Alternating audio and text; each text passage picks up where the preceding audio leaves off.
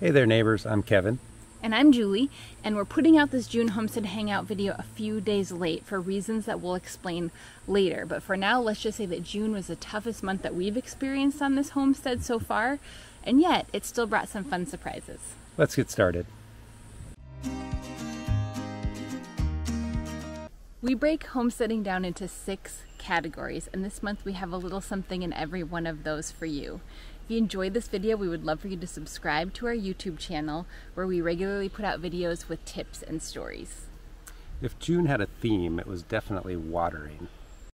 During a typical June in the Pacific Northwest, you could probably get away with watering once every three days or so. This June, it felt more like we were watering once every three hours just to keep our garden plants alive. I'm hoping we don't have to have a segment in our July homestead hangout that walks you through how Julie and I found second jobs to help pay off our June water bill.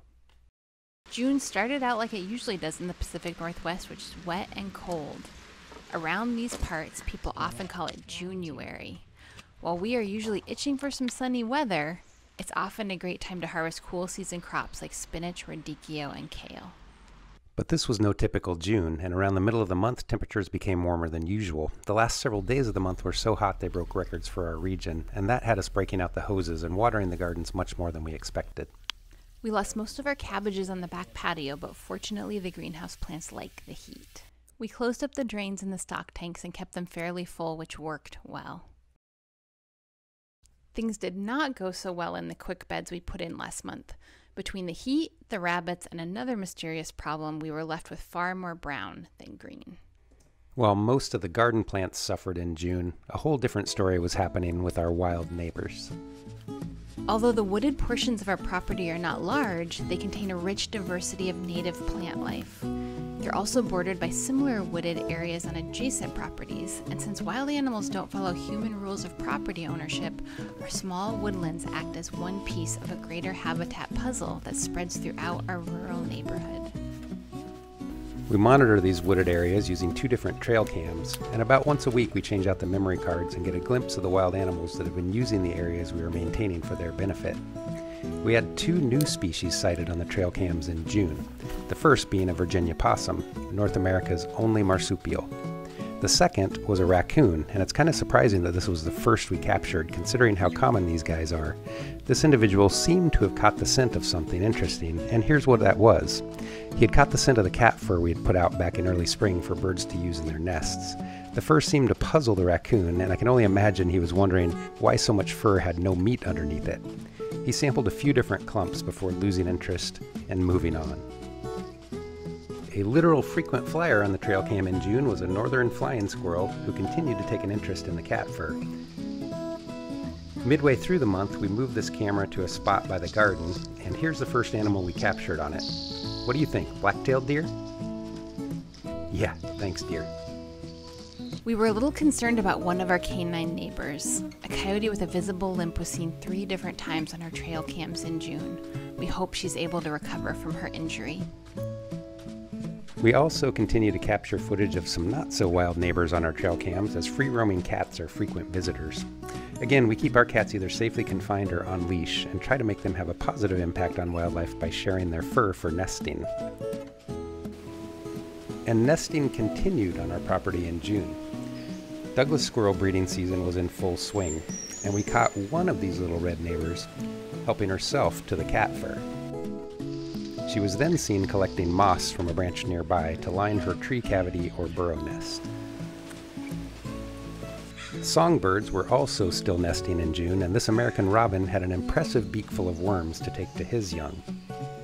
Spotted towhees were almost done raising their broods on the hill behind our house in June, and we caught a quick glimpse of one of their fledglings. A song sparrow was spotted singing to defend his territory while sitting on one of our property line stakes. Basically, the song sparrow's song serves the same purpose as the orange stake. We're really not that different. American crows on our property have their wings full in June, taking care of the next generation. We have a family that has been busy caring for three fledglings that seem to enjoy roosting on the rails of our garden fence. These three have entered the crow equivalent of their teenage years. They're a little uncoordinated and awkward with their bodies and just starting to learn what it means to be a crow. This includes figuring out what is and is not edible.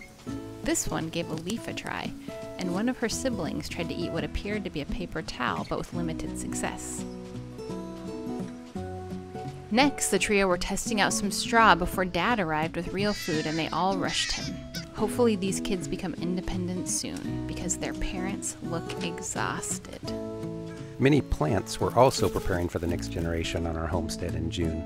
The most obvious of these was our black cottonwood trees. The entire property was blanketed with the white fluff that both carries the tree's seeds on the wind and gives the tree its name. The white blanket was actually very pretty to look at, but also a little hard on the allergies. Plants that were flowering in April and May, like the salmonberry, saw their fruit ripen in June. As predicted, wildlife like this robin benefited greatly from this easily obtained food source. Large two legged mammals on the property also ate their fair share. The osoberry, or Indian plum, also bore its fruit in June. The small plum like berries disappeared as soon as they were ripe. We even discovered a plant we didn't know we had when a prickly currant, also known as swamp gooseberry, bore fruit along our nature trail. Other plants like this thimbleberry trailed slightly behind and will bear fruit that will benefit wildlife in early July. The hill behind our home was bursting with color in June as rhododendrons and other flowering shrubs came into bloom. These flowers attracted pollinators like bumblebees. This bee seemed determined to visit every bloom as quickly as possible, but she was eventually slowed down by one flower that didn't seem to want to let her go. Meanwhile, the wetland at the bottom of our property had a pungent smell as skunk cabbage flowered and leafed out. This plant really does smell like a skunk, and its tender shoots are a good food source for bears in the early spring. Our local vine maples were developing seeds in June that will feed wildlife in the months to come and green vegetation all over our property was providing food for a large population of eastern cottontail rabbits. The rabbits ate some discarded wheatgrass and helped themselves to the clover crop we planted in multiple new quick beds around our property. Cottontails were also seen eating plants in our main garden's perimeter bed, but our wildlife-proof fencing effectively excluded them from having access to any plants we didn't want them eating At times they ate so much that they just needed to lay down for a while and digest. We had some exciting reptile and amphibian sightings in June, starting with this northern red legged frog seen in our wetlands. Our back patio garden became home to a Pacific chorus frog who was seen hanging out among our potato plants. She likely ate many small slugs and snails, and she was a very welcome garden helper. We also spotted this lovely garter snake sunning himself in an area where we are moving Japanese knotweed, which is an invasive plant. Garter snakes are another welcome neighbor as slugs are one of their favorite foods.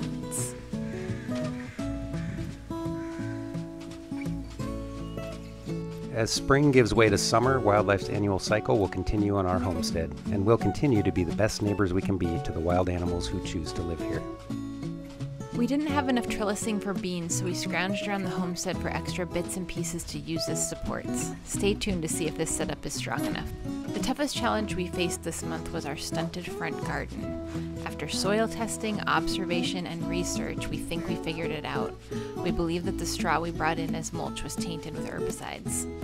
This is really scary for us since we both have serious health issues already, but once we faced it, we began the painful process of pulling out the straw and deformed plants. Not all hope is lost, however.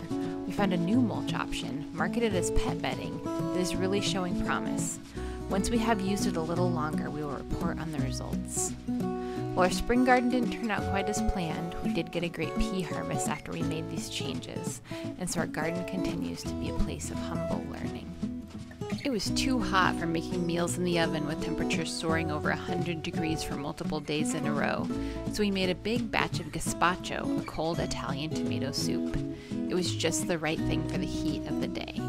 Hopefully, we'll have our own tomatoes for this recipe later in the year and can share it with you. As we mentioned earlier, we experienced record breaking temperatures during the month of June. Only about 30% of homes in Washington have air conditioning, and ours is not among them.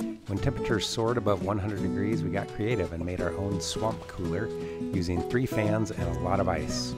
It worked better than expected, but when the thermometer hit an insane 111 degrees, we went to plan B and literally jumped in the river.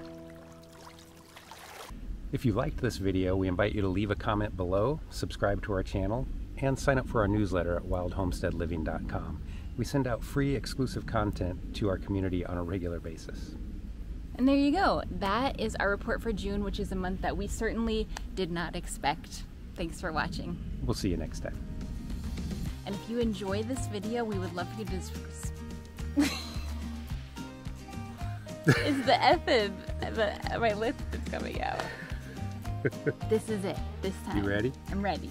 You sure? I'm gonna do it. Okay, let's do this. Are we filming? We're filming. All right. This month we have a little something in every one of those. If you like, what was that? I don't know. Is it a deer? I think I'm down the trail. I finally got it. I finally didn't have list.